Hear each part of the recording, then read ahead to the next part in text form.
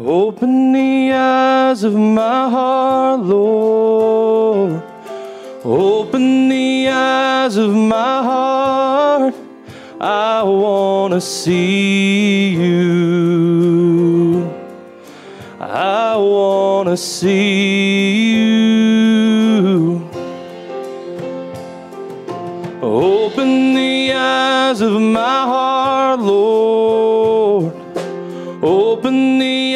eyes of my heart. I want to see you. I want to see you.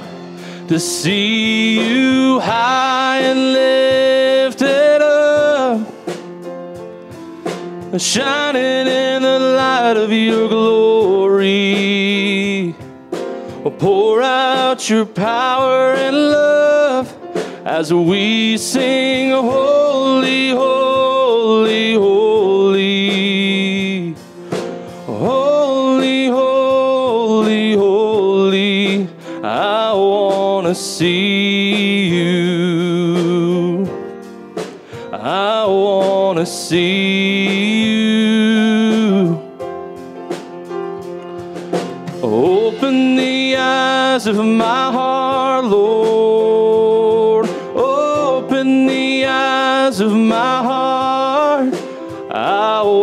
want to see you. I want to see you.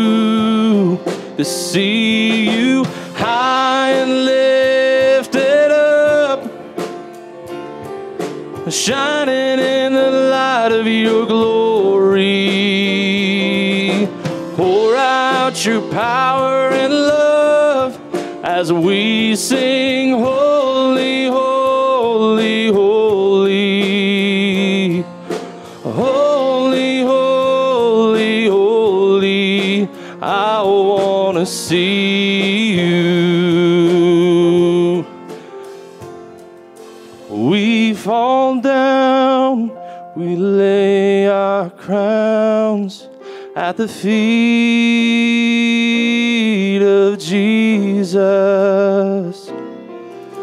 The greatness of His mercy and love is at the feet of Jesus.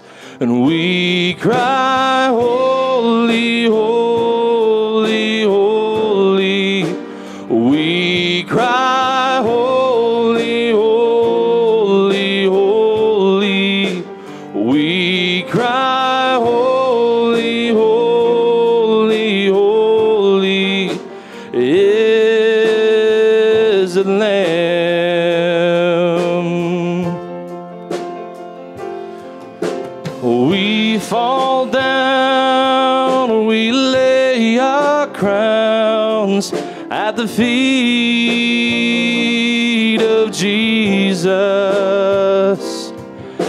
the greatness of his mercy and love is at the feet of Jesus. We cry,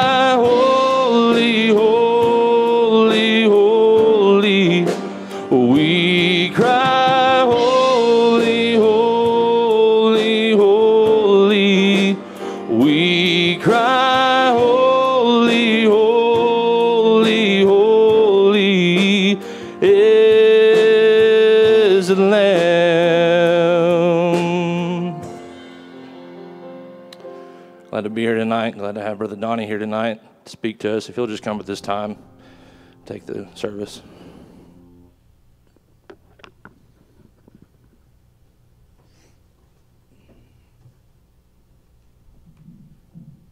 Glad to be here too. Brother Branham said that question and answers can be a little bit treacherous, but thankfully we didn't have no treacherous ones in this batch. So maybe we can just stand together and we'll we'll pray and ask the Lord to help us. Anybody like to be remembered tonight as we pray? Just raise your hand with your requests in your heart. Heavenly Father, as we've assembled here tonight, Lord, we're still just so grateful for the service that you gave us yesterday. Your presence was so wonderful and so awesome.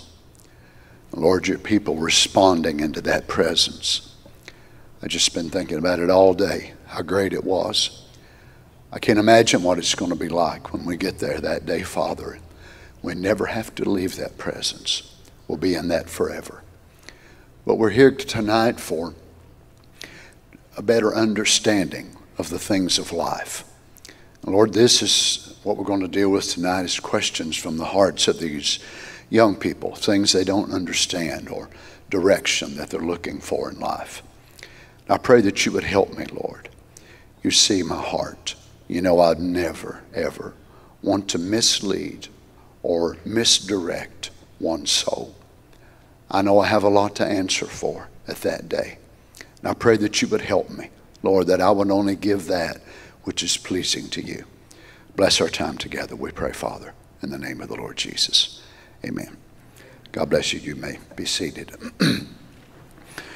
I thought it might be a little bit better for us if I would uh, have the the questions and then uh, put it up on the on the board here or the screen rather behind me, and then the scriptures and quotes and things that I'll use as well.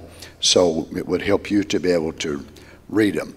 Um, I normally study in Microsoft Word, and then I will make a um, PDF file and uh, send it to my iPad. So today I had the bright idea of just sending that PDF file to, to the brothers, so they had to totally redo it. So hopefully it's going to be legible where you can be able to read it. So Brother Josiah was really working hard up here to get it, get it going. So here's the first question that we'd like to look at tonight. How do you know when God is leading you to do something? Now, this is not something that just pertains to young people. As a matter of fact, all of us, all through our life, will be faced with this answer and this question of how can we know when God is leading us in a certain way. Now, we know one thing for sure that God will never lead us contrary to His Word. But when God gave us the Word, He didn't tell us the answer to absolutely every decision that we would ever make. And God did that for a reason. He could have handed you the book of your life when you were born and said, Now, on this day, you'll be facing this. On this day, you'll be facing that. And when you do, do this. And then tomorrow, you'll be facing that. And when you do, do this. He could have given you every day of your life. But that would have made him so impersonal. So he give us the things that he determined was necessary and essential in the Word, and then he gave us preachers that would come, of course, and be able to preach to us. But he left an element of that to where that it would require you and myself to go to him in prayer and petition him and ask him, Lord, what should I do? I don't know what to do about this or that or the other. But let's start tonight with the book of Romans, chapter 12, verse 2. And Paul says, Be not conformed to this world, but be ye transformed by the renewing of your mind, that ye may prove what is the good and acceptable and perfect will of God. I love the way that he describes what the will of God is. That ye may prove what is the good and acceptable and perfect will of God. Now we know that God has two aspects to his will. One is a permissive will, and the other one is his perfect will. We are living, as far as our natural births, by the permissive will. Never, never did God want for us to be born between a man and a woman the way we are. But yet God has allowed it to be so, and He will work it in to make it fit into His perfect will.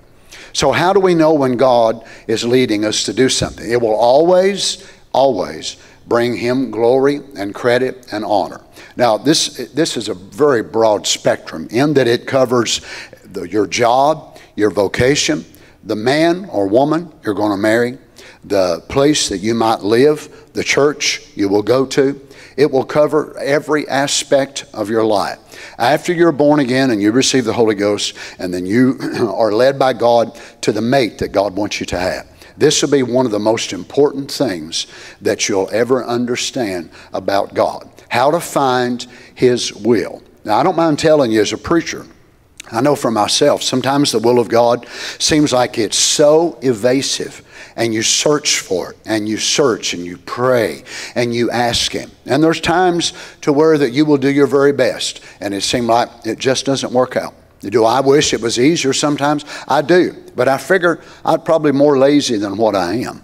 Because if God just give us that answer as soon as we ask Him for it, we would be more spoiled and we would expect everything so much faster. So sometimes He wants us to actually feel somewhat of a burden.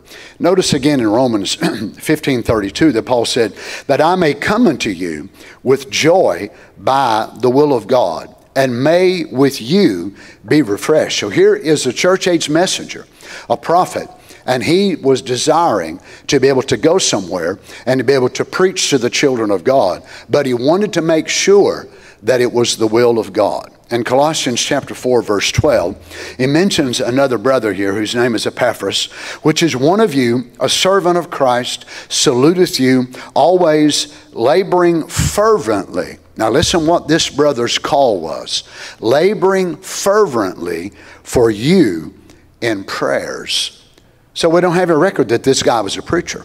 We don't have any record that he went out being a missionary. But his labor of what he, the way he labored for the kingdom of God was he labored for the saints of God in prayer. What a great thing. And this is what he prayed that ye may stand perfect and complete in all the will of God. Now, this is what I find amazing about the will of God that a person may find the right mate, totally in the will of God. They might find the right job, totally in the will of God. But they may get in their mind, they want to live and say, this city versus that city. And when they move, they totally miss the will of God for that part of their life. Why? No church there no place for them to be able to raise up their children and their family in the right kind of setting to where God wanted them to be. So it's amazing that the will of God is like branches on a tree, that there's so many aspects to it. Okay, I married the right man or the right woman, and I'm a Christian, I'm filled with the Holy Ghost, I know that's the will of God, and I'm, I'm called to believe the message. I believe that's the will of God for my life. But yeah, I got this idea that I wanted to move to Chicago because I've always thought it'd be a great place to live.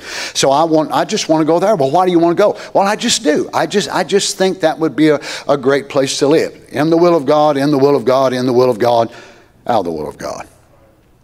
Now, what's amazing is that that one step out of the will of God can reflect every other aspect that we're in the will of God and pleasing to Him. So it's, it, it's quite complicated, and it's almost like that God allowed it to be in such a way that we as His people would realize we need Him so desperately every day of our life because He knows how we are as humans. The very best of us will make the wrong choice.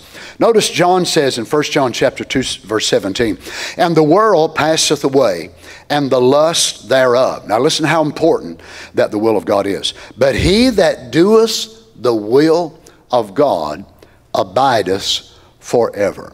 Now, I wonder how many of us here tonight might be praying about the will of God for a certain thing in our life, a certain aspect. Well, many of you are. Probably no doubt many of that are out, out streaming. now, look at this question again. How do you know when God is leading you to do something. This is one thing I love about question answers, and I'm going to give you one from Question Answers 1961.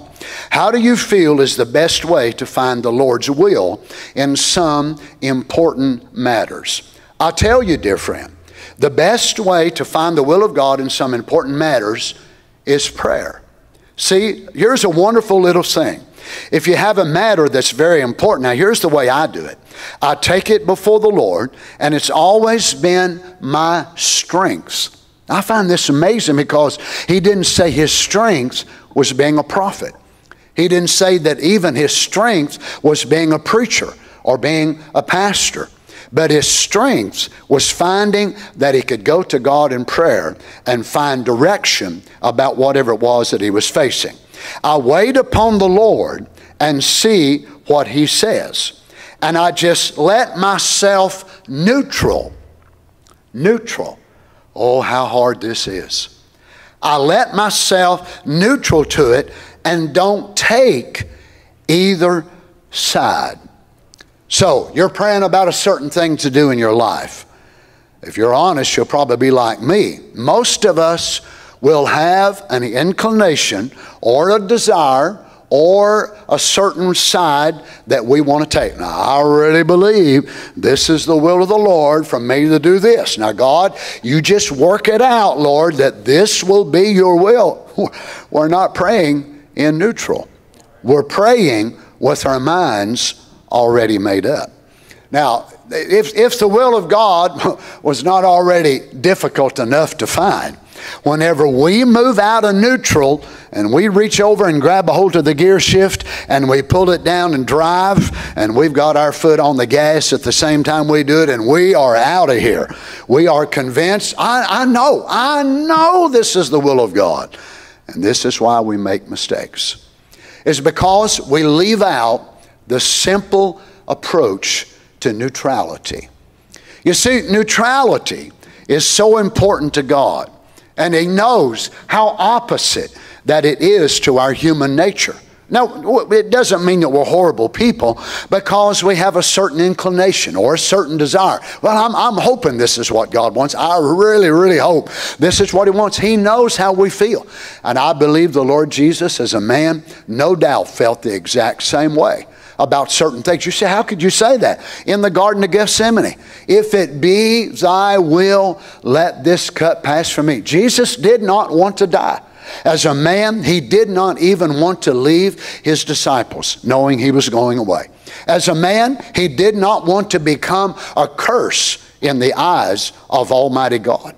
So he, when he prayed, he leaned toward a certain answer. But notice the neutrality, how powerful that it was. Nevertheless, not my will, but thy will be done. Now you see, that's not wrong. Even the Lord Jesus asked, and he prayed a prayer that he knew was not going to be answered. If it be thy will, let, let this cup pass from me. But at the end of every bit of it, his amen was, I'm still neutral, Father. And that's what I want. Now, watch how Brother Branham emphasizes this. He said, I just let myself neutral to it, and I don't take either side. And saying, Now, Heavenly Father, notice now how he brings this to us. Of course, now, in my case, most of the time, he said, if it's very important, I'll wait on a vision. Well, that excludes most of us because most of us don't have visions, right? We don't have visions. But many people God doesn't deal with in visions, so therefore I wouldn't advise you to do that. But because it's some people that has visions and some that's something else. Where do you see something else that I couldn't do? Maybe in your way of serving the Lord, I do something that you couldn't do. And God deals with us different. So if I was in your place, and didn't have visions from before the Lord, I would wait upon the Lord and say, Lord, now you show me what's the decision to make. And then the way you feel led, then just wait a little bit. Oh, okay, now wait a minute. So I pray and then I feel led a certain way. I don't move immediately, I still wait. Isn't this amazing? Satan would love for us to be so afraid of missing the will of God that he causes us to jump ahead of the will of God out of what he wants to describe to us as a godly fear. Now, I hope you understand what I'm fixing to say. God does not, he does not hate us.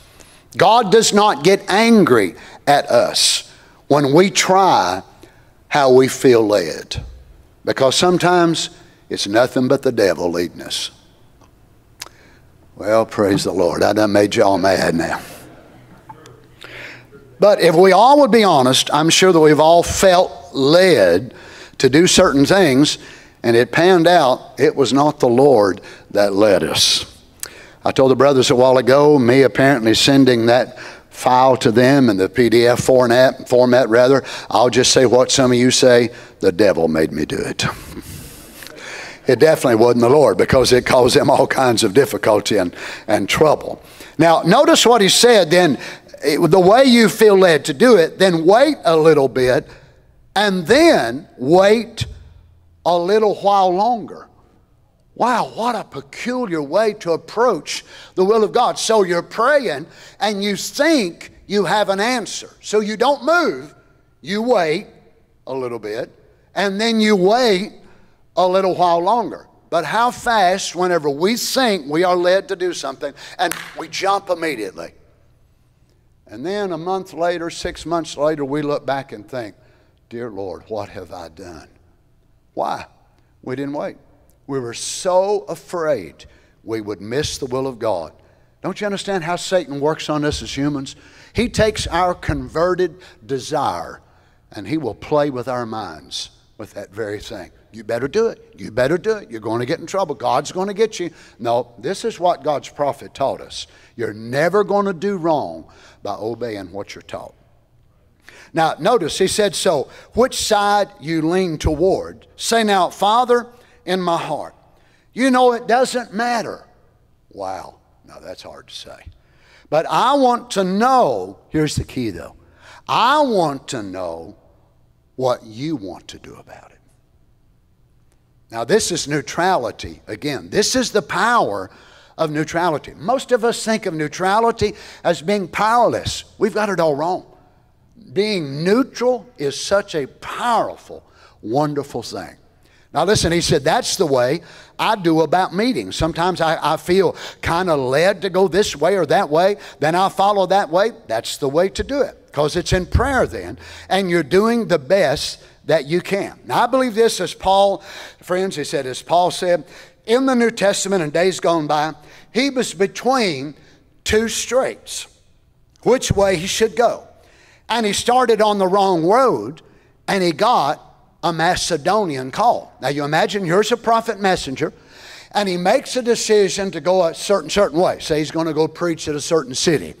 But it was the wrong call. He the Lord, no, no, no, no, no, no, Paul. No, don't, don't, don't, don't go there. And then he sees these people in this dream or vision, and they're from Macedonia, and they appear to him and they said, We want you to come over here and preach to us. So Paul had to turn and go back. And he said, I believe that if you are making a decision for God and do it the best that you can, I believe God will correct you.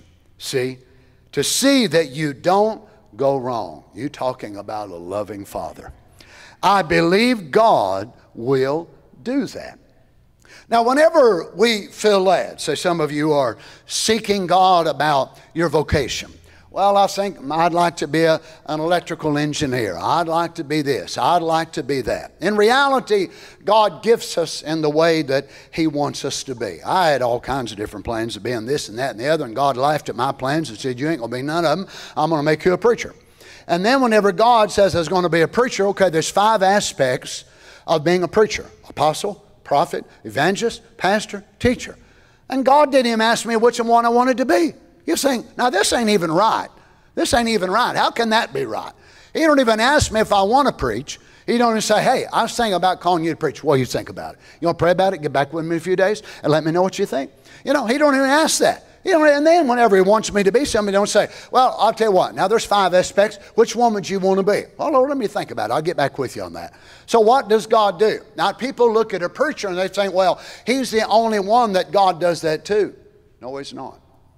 You see, God calls us and God gives us certain gifts and certain ability. Now, let me say this to you tonight to encourage each of you. No matter how much you may think, I have nothing, I have no abilities, you should never look at yourself in that way. God has called you for specific things. And if you all the time going around comparing yourself to this one and that one and the other one, you'll never reach the mark of what God wants you to be. Brother Darrell expressed that beautifully a couple of weeks ago. But yet God has called you. So God calls us that way, and then God wants us through prayer, communicative communication by, by prayer to God, and He will lead us what to do the right vocation. So some start in college and they take a major in this. And then after they're in there for a couple of months, they think, you know what? I hate this. I don't want to be this. So then they go this way. Then they go that way. And they go that way. So you realize, as the prophet said it, that we would be better off, we would save God and ourselves so much trouble in life if we would go to Him and say, Father, what do you want me to be? What do you want me to become? Then study with a direction. Pray with a direction. Watch this.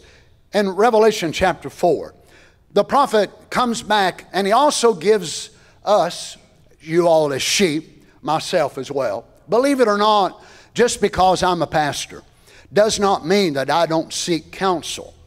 Because there's situations that I will come up against that maybe I've never dealt with before. I'll look in the scripture and see if I can find uh, something that's happened before. Or I will look into the message and see if perhaps someone asked the prophet a question about this or that. If I don't find it there and I pray and I can't seem to get into direction, I will either call or contact Brother Tim Pruitt, Brother Ron Spencer. I've got brothers and friends of mine around the world and I will ask them, Look, brothers, have y'all ever dealt with this? Have you ever dealt with that? Why? Because I'm still learning. Now, here I am, been pastoring for 40 years, been preaching for longer than that, but yet I don't think, and I hope I never get to a spot to where I think I do not need help and counsel. And I've found many times that I've got my answer from the Lord by talking to other men of God. And God allows us to be able to do that. Now, God doesn't give us uh, pastors and friends and things like that so that they will be dictators over our heart or over our faith. They're there to help us whenever we're seeking God's counsel. Notice how Brother Branham goes with this, and I said, if you ever feel to do something, or a revelation, or something comes to you strangely, something warningly, or something, be careful. Satan is as sly and slick as he can be. Put it with the Word of God and consult your pastor. Now, it's amazing how many people will never do that. And then they go and make these mistakes in life and they look back and think, well, God, I done everything you told me to do. No, you didn't. Well, I prayed. That's only part of what he said. Well, I looked in the Bible. You're not going to find the word electrical engineer in the Bible. You're not going to find for some of you sister, well, I want to be a nurse. I want to be an RN. I want to be an LPN. You're not going to find them in the Bible either.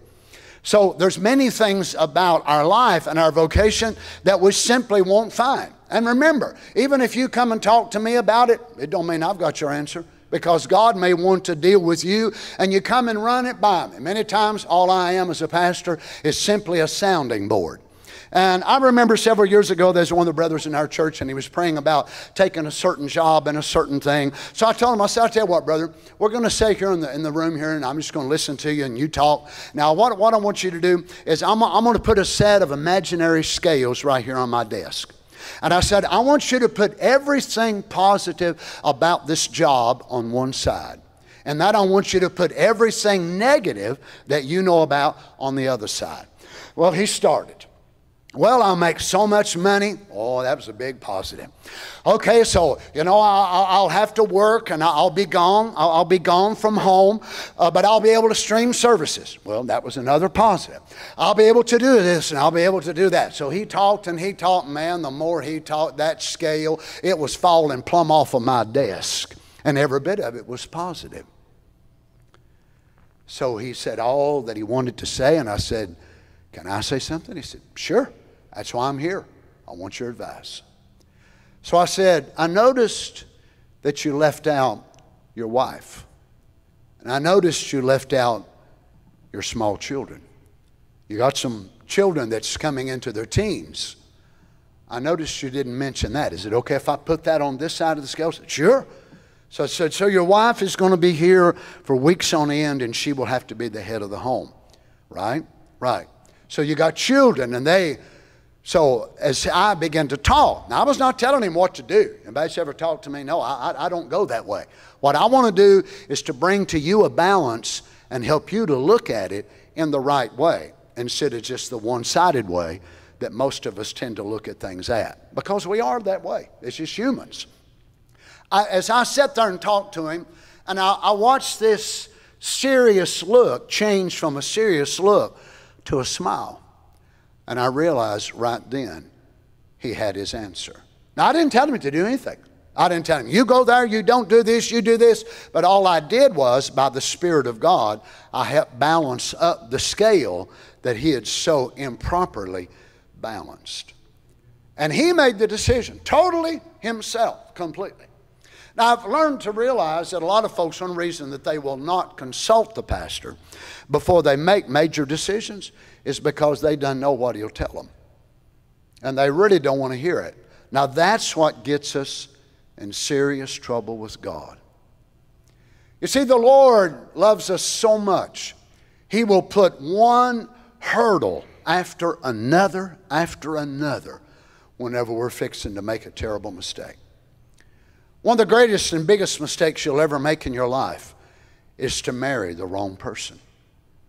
And some of you, you're single, maybe you're looking for a man, a woman of your dreams, and you say, I'm just so lonely, I'm just so lonely, I want a wife, I want a husband. I'm just so lonely. I'll tell you what's even worse than being single and being lonely being married and being lonely. Because someone with a beautiful smile or beautiful eyes or whatever more, and you overrode that something, that, that little red flag, that little something in your heart that, that was just no, no, no, no. And the more you overrode it, you begin to silence that voice. I do not believe our Father wants any of us to make the wrong choices in life. I use this, this illustration a lot. Um, as I sit here in the office and I'm counseling to people, and as they look out the blind there on the outside, and I'll tell them, uh, You've been up those steps there? Yes, sir, I've been up those steps. I said, So you know there's a really steep bank right there? Yes, sir, I know that bank. I said, Okay. So we're sitting in the office and we're talking about this, and both of us see a small toddler. And that toddler is standing right here about where I park my car. And we can see that toddler hand, is, is going in the direction of that bank. We can see the way that toddler is going. It has no intentions of stopping. What we're talking about is very important. That toddler is not yours, it's not mine. But we would stop our conversation and put it on hold and run out that door and grab that child because we can see that child does not understand by its ability of the depth of perception. It does not see what's fixing to happen. It could break its neck, it could kill itself. How cruel we would be if we would sit here and watch that child do that. And then I'll turn and always say, magnify that by millions and millions of times. And imagine your loving Heavenly Father watching you in a precipice of life, seeing you're fixing to make the most horrible decision of your life. And Him sitting there in heaven and say, Be careful, Rob. Be careful. Y'all have a safe trip now. That's not my father. And that's not your father. So, why is it that so many Christians wind up making such a mess out of their life. By what? The decisions they make. And many of them will title them, I felt led. Well, you can take my word for this. You'd not believe the different things that I've heard that people felt led to do. Some have felt led to leave their wife and marry somebody else's wife. Well, it wouldn't take much of a Bible scholar to tell you that's the devil doing that. Right? Some of those things are no brainers.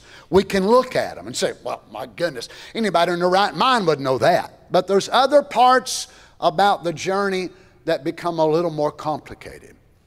So God gives us one barrier after another after another because He loves us so we won't make terrible mistakes. Clear? Anybody else? Anything question on that question? How do you know when someone is the right one God has for you? Well, it's butterflies. Don't you? I thought everybody knew that. It may seem strange to people outside of our ranks, but we know that our companion that was given to us by God it's actually not just our choice. Now, it is our choice. But when you look at it in reality, the church that you go to is not really your choice. The pastor that you sit under, it should not be your choice. I mean, I, I hear it all the time that there's people who actually come to Happy Valley, and I wasn't their choice of a pastor. That always makes me feel so wonderful. I mean, they're just being honest. They would have rather went here and there and there. And, and, they're, they're trying to make a point whenever they will tell me that. I'm so glad that they always tell me the point afterwards because I'd, I'd probably just walk away very discouraged. But, but the point was that, well, Brother Donny, my first choice would have been to go here or there or there. But I just kept feeling the Lord was leading me here. And now I see why. Because under your ministry, we've changed and we've done this and that and the other. So it, it might be the same way with a mate. So, the very one that God might have for you, initially you might look at them and they might look at you and they might not like you at all. And they'd think, What in the world is the matter with that girl? What in the world is the matter with that boy? Sort of like Carol did me when we initially met. I knew she'd come around, bless her heart. She was just a little bit slower than me, but she finally caught up. But God, when God gives us that something, it is truly a revelation. Now, I'm sure that all of you young people sitting here tonight have had revelations from God in your life, have you not? Whether it was serpent seed, God sending a prophet, whatever doctrinal thing, and you may have heard it since you was a little boy or a girl. But one day, reading reading your Bible, listening to a tape, sitting in a service, maybe at a youth camp or a banquet, all of a sudden, that doctrine that you had heard all of your life, and yet a preacher just went a little different angle than the way you'd ever heard it before, and it was just like a light bulb switched on, and you say, Oh my goodness, I see it. Oh, oh I see it. Another saying, You see what? Serpent seed. Serpent seed, you've heard that since you was in Sunday school. But all of a sudden it becomes so real to you. What was that? A revelation from God. And a real mate that God puts together. That's what they really are. But, Brother Donny, what about the brown eyes and the blue eyes and the broad shoulders and the tall, dark, and handsome? He might be short, fat, and squatty.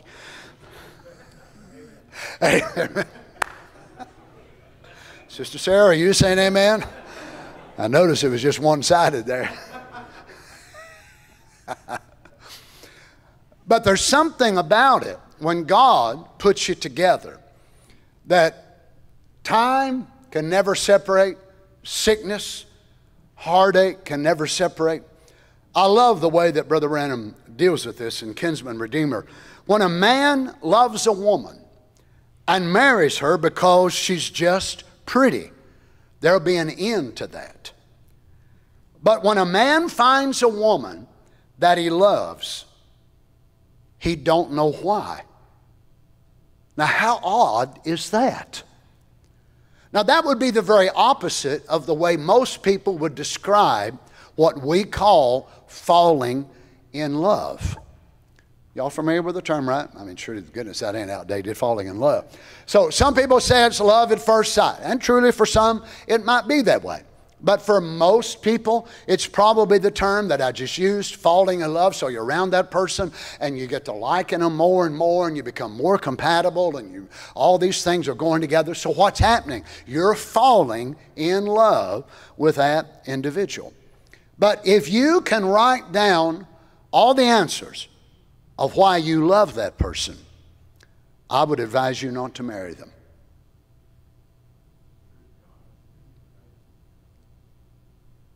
Brother Donny, you didn't catch the quote.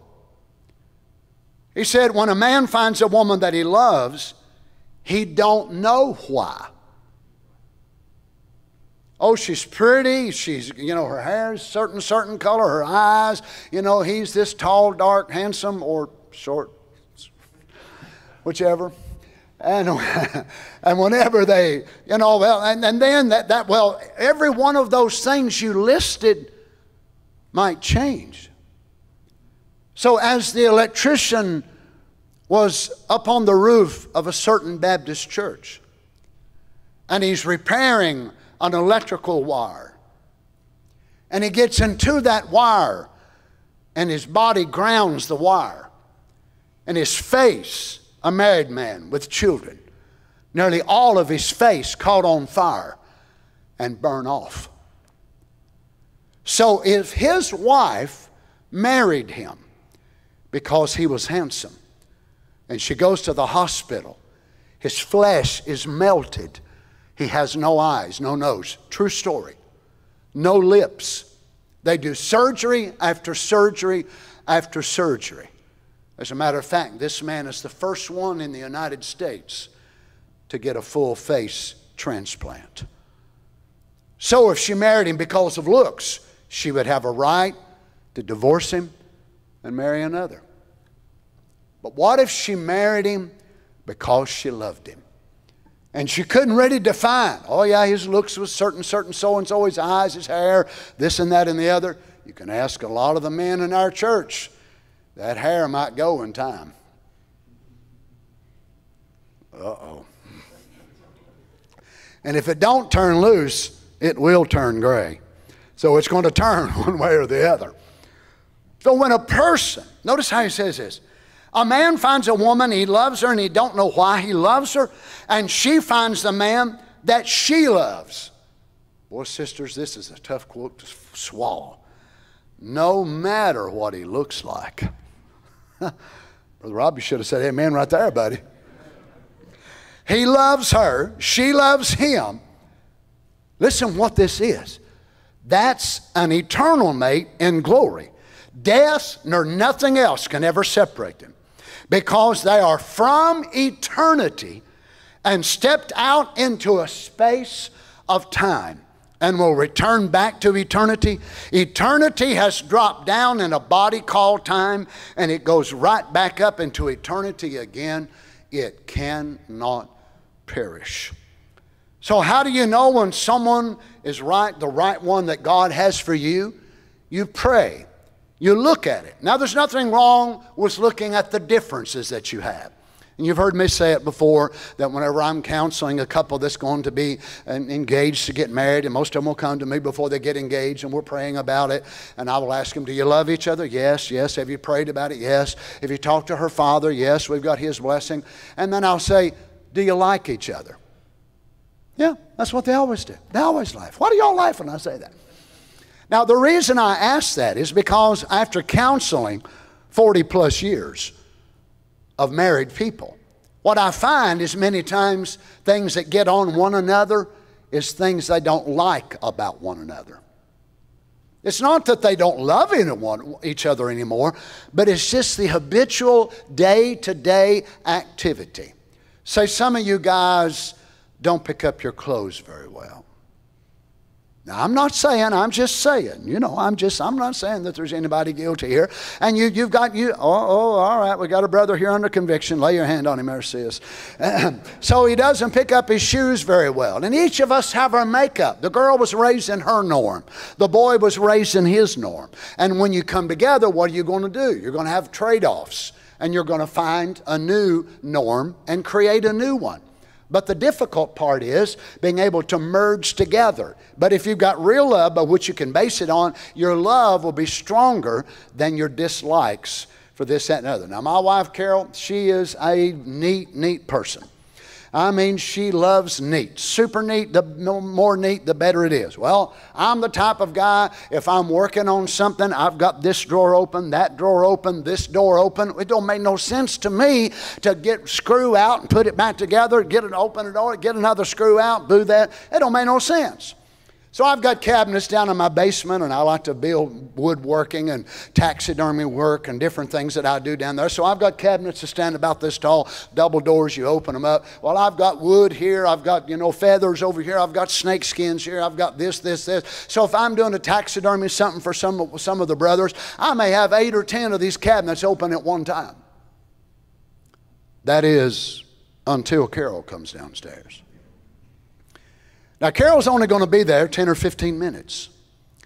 But as Carol comes by each double door, them double doors don't close automatically, but Carol automatically closes them for me. So she'll come through and close every one of them. And when she leaves, now I have to exert more energy to open every one of them back up. I see you're laughing. But you'd be surprised how many people that I've counseled that have had things just this simple and causes the office problem ever was. Oh, I dealt with an issue several years ago. A man and wife, it was nearly, it was nearly a divorce case. They called me, it was screaming, it was hollering, it was awful. And it was simply because she wanted breakfast for supper, but he wanted supper for supper. You think that's funny, did you? I'll call you the next time they call me. Did they love each other? Of course. Of course. Would they wish harm on either one? No. But it was just the likes and the dislikes. Real love can look at the flaws of that man that you want to marry. And they don't have to say, no, they don't exist. No, I close my eyes to any of her faults. You better look at them, buddy. That's going to be what's going to aggravate you. But if you love her more than her faults, and you love him more than his faults and his shortcomings, ah, oh, sounds like to me y'all stepped out of eternity together to live here in a body called time. So don't be afraid to look at shortcomings. And don't be afraid to be able to acknowledge, well, this is fine. No, that, that's okay. I have no problem with that because our love will help us to deal with it. That's the way real love is. That's the way He loves us. He looked at us and knew we would cause Him so much pain even after we got saved. But He loved us so much, He said, I'm willing. I'm willing to embrace you with all your shortcomings. Aren't you glad? Boy, I'll tell you one thing if Jesus didn't love me like that, there'd be no hope for me. How do you know when someone is right, the right one God has for you? Again, approach it prayerfully, open hearted, open mind, be able to look and see are you compatible? And don't just look at him, but whenever I'm counseling sisters, I will tell them that young man that you're looking at, See how he treats his mama. See how he treats his sisters if he has them. That'll give you a pretty good idea of how he's going to treat you. Because if he has inferiority complexes toward women, if he's raised by a strong woman in the house, he may take that out on you once you're married. I might ought to go into this office here and finish this. And it's the same way, young men. Whenever you are looking to marry a girl. Look and see how she treats her daddy. Look and see how she treats her brothers, her uncles. Look and see how she treats the pastor or other men of authority in her life. Because don't think she's going to despise the pastor and her father and every other male figure in her life, and all of a sudden, oh, she's just going to melt in your arms and everything is going to be wonderful. You're dreaming, boy. I should say you've got a nightmare. Why? Because there's something in her that has molded her that way. Real love can look at that. Now, see, some of y'all thinking, I'll never be married. I'd rather for you to delay it and find the right one. I don't want to talk to you all in there. Right? So, when it's real love, it can look at the flaws, the shortcomings, the mistakes, and there's something in you that drives you toward that individual because it'll be God that pulls you together. Clear?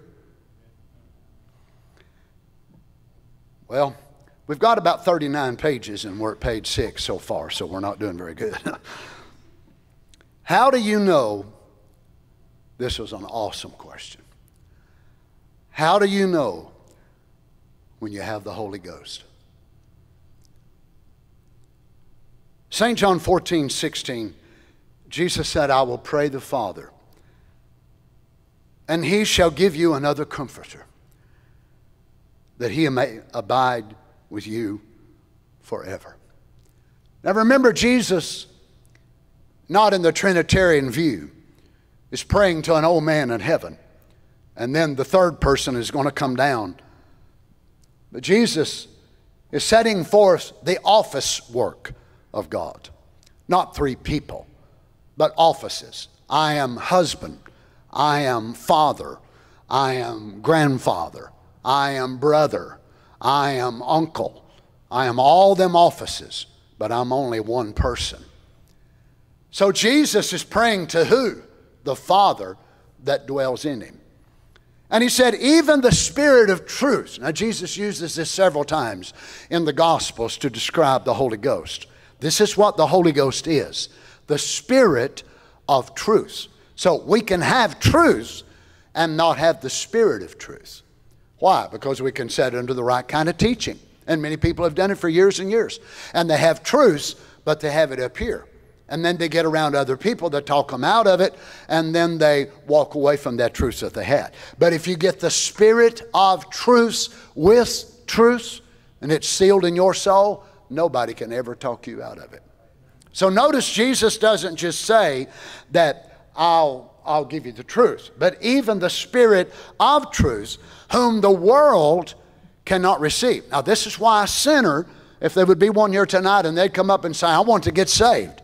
Well, we could not come and say, all right, let's everybody gather around this sinner and we're going to pray God will fill them with the Holy Ghost. That's not going to happen. They must repent. Could they get the Holy Ghost in a few minutes? Oh, yes, they could. But God ain't going to give them the Holy Ghost until they repent of their sins and God eradicates that nature.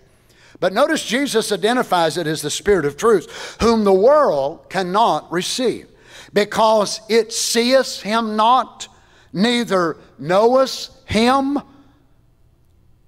but ye know him, for he dwelleth with you and shall be in you. So Jesus is describing himself. This is another reason people can't get the Holy Ghost. They're praying for a third person.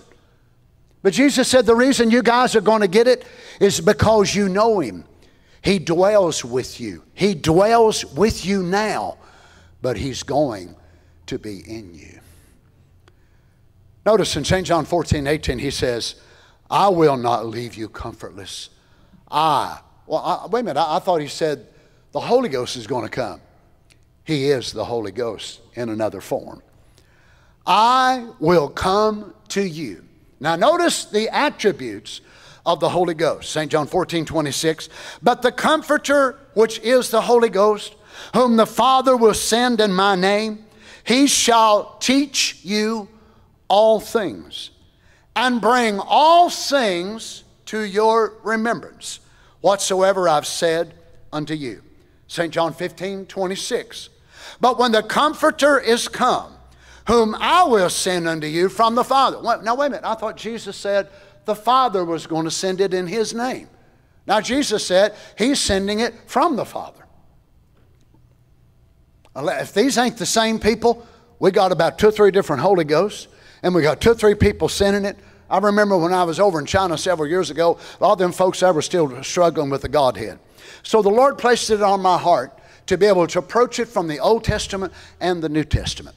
And the Lord began to quicken some things to me where God said in the Old Testament, He was the first and the last. Then I come to the New Testament, Jesus said He was the first and He was the last. God said this and this and this in the Old Testament. Jesus said the very same words in the New Testament.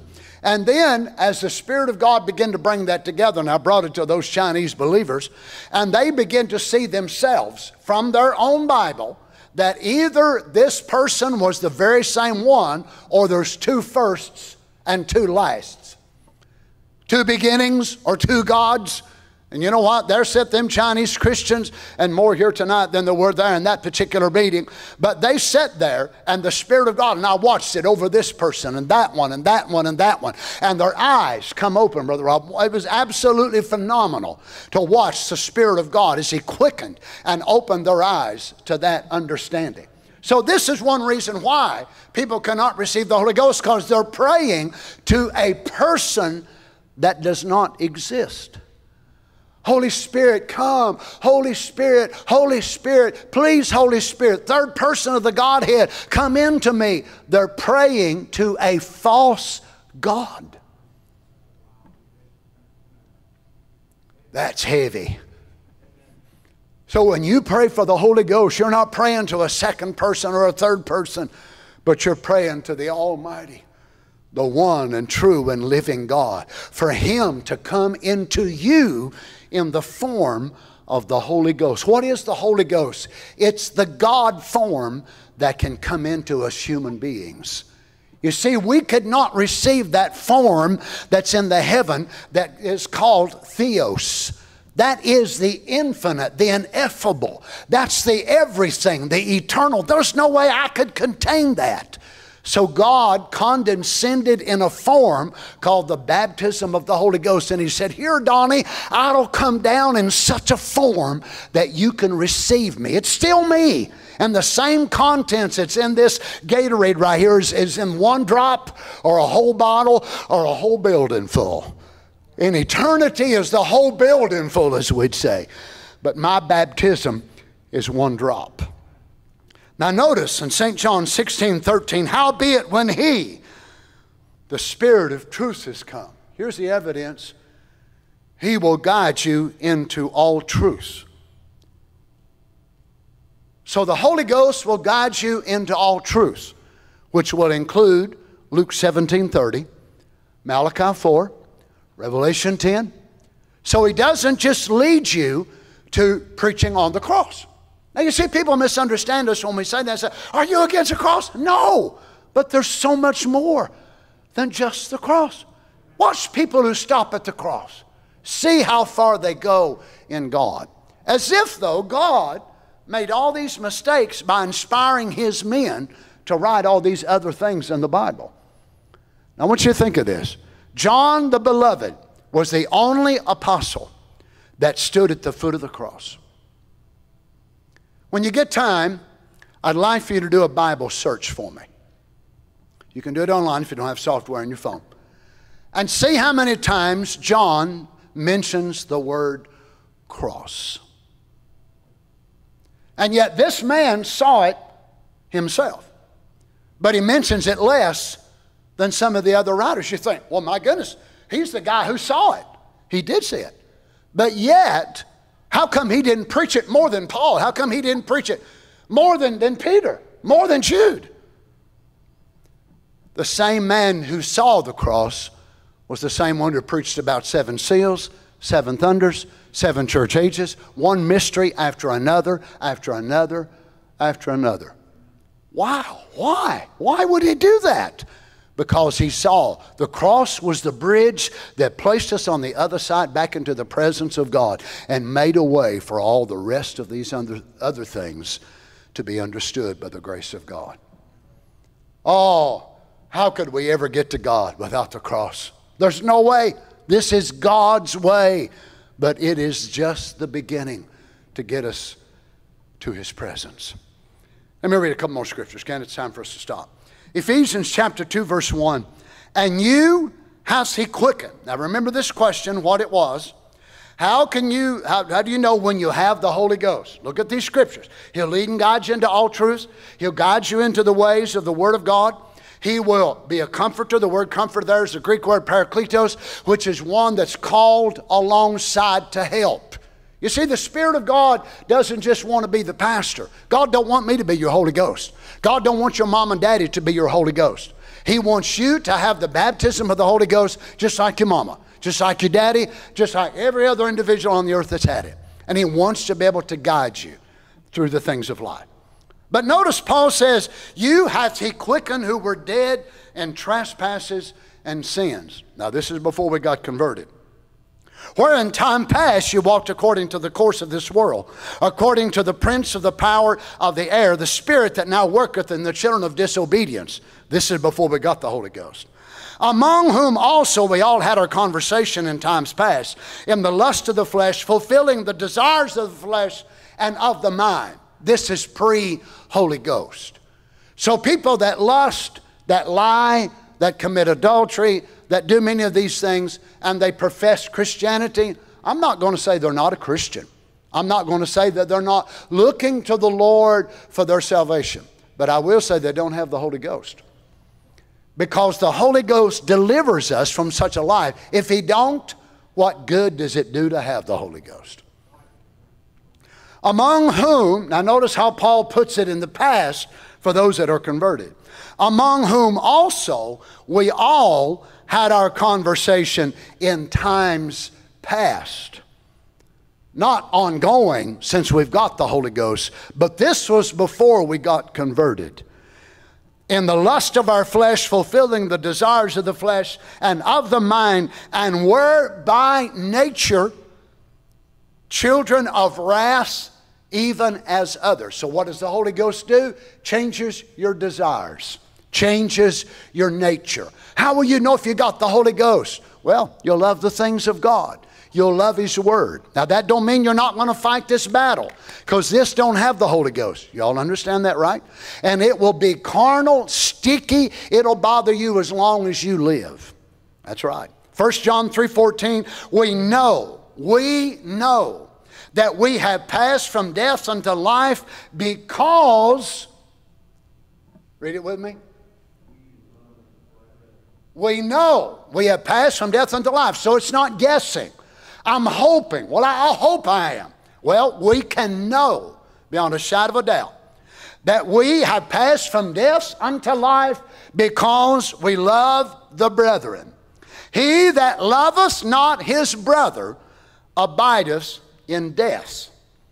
And whosoever hateth his brother is what? A murderer a murderer. And you know, no murderer has eternal life abiding in him. So, anyone, or you say, well, I don't like the way they do, but do you hate them? There's a great difference in not liking the way a brother does this or a sister does that, and not liking their mannerisms, and we've all got that. Oh, this is one reason why we all need a body change. Thank God we're going to be set free from ourselves. Can I, go, can I have just a couple more minutes and then we'll, we'll stop right here? This is a private interview. It was uh, from a, a, sister by the name of Sister Georgie Bruce. She went to the Branham Tabernacle and went there for many, many years. She recorded this private interview, and several years ago they made it public.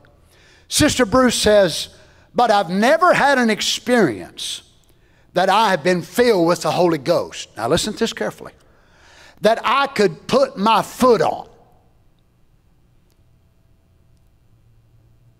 All right, notice this. Now, this is Brother Branham. Ordinarily, a human being born in sin, shaped in iniquity, come to the world speaking lies. That's the nature of a human being. Sister Bruce says yes. That was our nature. It changed once. But what changed it? She answers, Christ. There you are, sister. See, that's it. He that heareth my words and believeth on him that sent me. Now remember, this is July the 5th, 1964. Has eternal life and shall not come into judgment, but hath past tense passed from death unto life. St. John 5 24, Jesus speaking. And you're a Christian, Sister Bruce. I've watched your life. Now listen to this. I've watched you under vision. And I know you're a Christian. All I can say is it's a good thing I wasn't in that interview. If that name would have been instead of Sister Bruce, it'd been Brother Donny Reagan. And that prophet looked at me and said, Donny, I've watched your life by vision. I said, Where you want a new door in this office? I'd have had myself a spell. But I believe with all of my heart we can be just as sure as Sister Georgia Bruce was. Now, if that wasn't enough, he goes on to say, See, I'm your shepherd, as it was. And Sister Bruce says, Yes. Somebody to help, which is what a shepherd is, of course. See, if there was any doubt in my mind, if I thought there was something wrong, I'd tell you, Sister Bruce. She says, I believe that. But if there's anything wrong in your experience, anything between you and God, as far as I know anything about it, Sister Bruce, there's not a thing. I don't think we could have anything ever better said to us in our life. How awesome that would be in this place. If every one of us could have that assurance, there's nothing between you and God tonight. Praise the Lord. Sister Bruce, there's not one thing. Now we'll stop. We'll pick that up again because I've got several more things here that I'm going to go into. I don't, I don't want to rush it. Let's just bow our heads.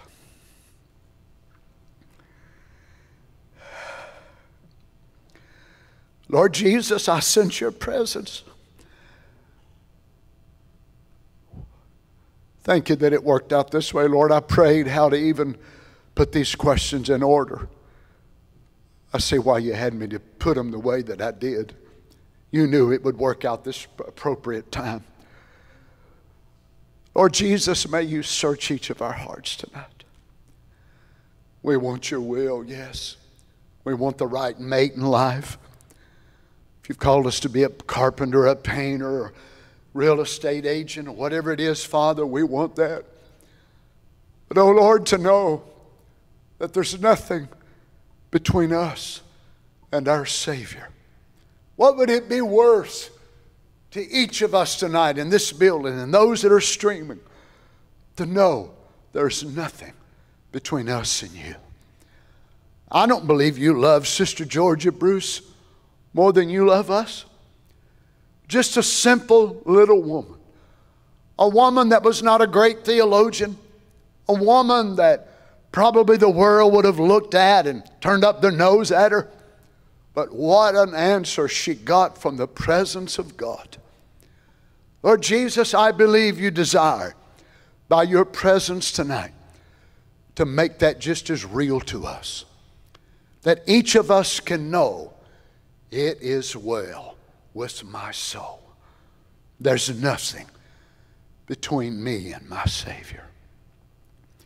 Would you deal with each of our hearts, Father? With our heads bowed, I wonder, not only just in the visible audience, but those that have streamed and those that will go back and archive this later. I wonder how many of us here, just by raising our hands, say, Lord, that's what I want more than anything. But I can know there's nothing between me and you. Not temper, not any besetting sin, Lord, not lust, not lying, nothing. Nothing. Jealousy, hatred, nothing, Lord, between me and you. I don't believe it's just something that the Lord wants to happen here on this Monday night and then we lose it. No, I believe He wants us to live there. So every day of our life, but Brother Donny, what if I mess up? He's made a way for us. John said, Little children, I write unto you that you sin not. But if any man sin, we have a propitiation, a go between. We have an atonement or a sacrifice, which is Jesus Christ the righteous. He's the one who made a way. God don't want us to miss the mark, and that's what the word sin means, to miss the mark. So what do we do when we miss it? We ask him to forgive us and help us to overcome that so we don't fall into that trap again. How many of you want that in your life tonight? Would you just raise your hand to the Lord? God bless you. Would you mind just putting your hand on that person's shoulder, maybe sitting there near you? Let's just offer a word of prayer for each other. Lord Jesus, we bring our, our brothers and sisters, our friends, Maybe it's a sister in the flesh, even a brother in the flesh. Lord God, we bring each other. We're not praying for ourselves now, but we're asking you tonight, Father. Lord, as the pastor of this assembly, I don't know of anything greater I could ask for, Lord, but that each of these sheep could have this in their life. Not only them, but their mothers and fathers and their grandmothers and grandfathers and every individual, Lord. Those around the world that call this their home church, Father, they have no church to attend where they live. Lord, that each of them, Father God, they could have this testimony. Heavenly Father, that they, they feel there's nothing between you and them. Oh, what a victory we would have in our lives, Lord Jesus. And we know that involves so much. That involves our everyday walk and making the right choices and praying over things and going about things the way you've laid it out for us. Help us, Father. If there's one here tonight, they've missed the will of God somehow. Help them, Lord, to realize they just go back. They just, they just simply go back and say, Lord, I missed you. I, I'm sorry about that. I want to start over again. Lord, help us to realize that's what it takes. Real believers, the zeal of this hour is repent. And that's what we always want to be able to do. It's one great difference that we notice between Saul and David. David had his mistakes and his errors, but Saul could never admit he was completely wrong himself. He wanted to blame it on this one and that one and the other. Well, the people wanted me to do it. The people wanted this and the people wanted that. But yet, David was a man after God's own heart. He was not perfect, he was not without his flaws. But there's one thing David knew how to do he knew how to repent, and he knew how to repent fast. When the prophet stood there and said, David, thou art a man, within a few seconds, the judgment of God would have thundered from that prophet's mouth. But David repented immediately in his heart. And the next words to come out of that prophet's lips was not, I condemn you to death. It was not, you will die. But the next words that come out of his lips was, You shall not surely die. Why? Because David knew how to repent and repent quickly. Lord, may we always know how to do that. When we make our mistakes, when we make the wrong choices, whatever it is in life, may we be able to quickly repent, go back and start over again, Father. Thank you for our time together tonight, Lord. I pray that it was pleasing to you, Father. We love you in the name of the Lord Jesus. Praise the Lord. Can we stand our feet?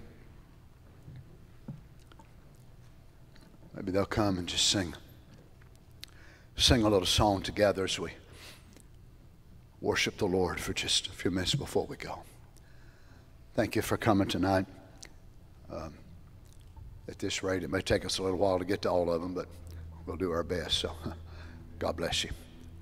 Don't you just love Him with all your heart? Some of you will never make the who's who. You'll never be a great renowned scientist, maybe, or a doctor that'll find some cure for some terrible disease. Well, I can tell you, I've been in who's who. There ain't no big deal about it. No, I was in there a few years ago. My name is there. I've got the copy if you'd like to look at it. Didn't do me any good at all. Somebody recommended that I go in there and they sent me a copy. They sent me a notification again last week. Hey, we're wanting to put you back in the who's who. I thought it didn't do me no good then. What did what would it do for me now? But I know one who's who that I'm in. And I believe every one of you here tonight are in that one. Who's God's who? That's the one we want in, don't we? Our lives may be so small in the eyes of the world. But remember, He loved you so much. I believed He would have died for you if you were the only one that was on the earth. He would have done it for you. So Jesse, just sing something for us. Can we just worship together just a little bit before we go? And ask Brother Rob if you want to come. Thank you, Lord.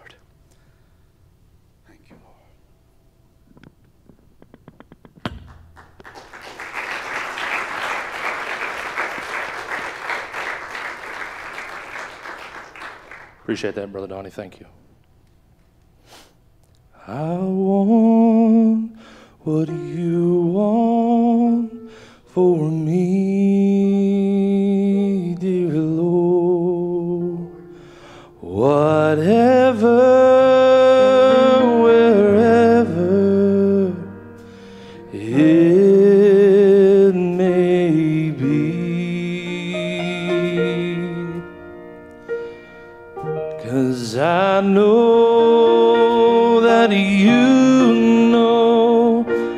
I want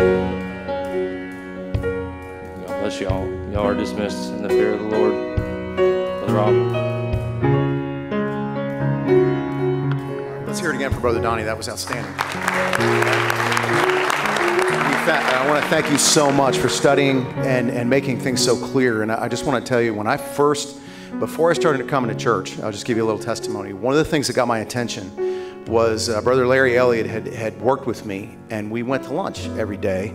And there would be a Bible question that would come up. And we're in the Bible Belt, and everyone has an opinion and we would have this person from this denomination give their opinion on a question and it would go around the table and when that when the message came forth it's like i recognized that voice there's something behind it and it's like that's the answer and there's so many things and i started i got my attention i started into reading the message and i started seeing there are answers to life's questions my concern for you being younger I've, i can associate with a lot of these things because i am older and i've had more time for mistakes and learning from mistakes the joy of the message is that you can learn what God has for you before you make that mistake. It may cause you all kinds of pain. And it's something, it was, I marveled at the fact that there was answers in the message. There was answers to life and questions that men have wondered for as long as human history, what those answers are and if things are there. And it's something to have Brother Donny, it was like a counseling session that many times I will go to him and ask my pastor what on this something big event and that was like coming out tonight, and I just appreciate that you could enjoy that. Thank God for Brother Donny doing that study. I thank you. I encourage you to do it again. No, it's a wonderful thing that we admire and appreciate. once again, thank you for being here. Want you do it again. God bless you all. Have a good night. You're dismissed. Thank you.